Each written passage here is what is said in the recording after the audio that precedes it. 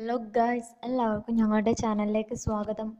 മഞ്ജു വാര്യരുടെ പരാതിക്ക് മറുപടിയുമായി സംവിധായകൻ ശ്രീകുമാർ രംഗത്ത്.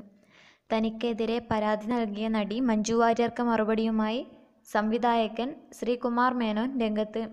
ഫേസ്ബുക്കിൽ പങ്കുവച്ച കുറിപ്പിലൂടെയാണ് സംവിധായകന്റെ പ്രതികരണം. മഞ്ജു വാര്യരുടേത് ഉപകാരസ്മരണയില്ലാത്ത വ്യക്തിത്വമാണെന്ന് സംവിധായകൻ ആരോപിക്കുന്നു. സ്നേഹപൂർവവും നിർബന്ധപൂർവവുമുള്ള സമ്മർദ്ദങ്ങളും ഭീഷണികളും അതിജീവിച്ചുകൊണ്ട് നടിക്ക് കൂട്ടായി നിന്ന തന്നെ തോൽപ്പിച്ചുവെന്നും ശ്രീകുമാർ മേനോൻ പറയുന്നു.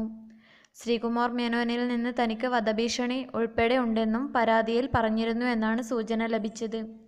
തിങ്കളാഴ്ച വൈകിട്ടോടെ ഡി ജി പി ലോക്നാഥ് ബെഹ്റയെ നേരിൽ കണ്ടാണ് മഞ്ജു വാര്യർ പരാതി നൽകിയത്. ശ്രീകുമാർ മേനോന് തന്നോട് വ്യക്തിവൈരാഗ്യമുണ്ടെന്ന് പരാതിയിൽ പറഞ്ഞിരുന്നു.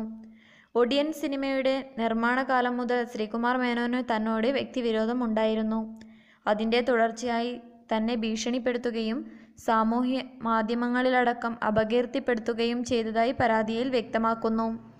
ഔദ്യോഗിക ആവശ്യങ്ങൾക്കായി നൽകിയ ലെറ്റർ ഹെഡും മറ്റു രേഖകളും ദുരുപയോഗം ചെയ്യപ്പെട്ടേക്കാമെന്ന് ഭയപ്പെടുന്നതായും പരാതിയിൽ ഉണ്ടായിരുന്നു.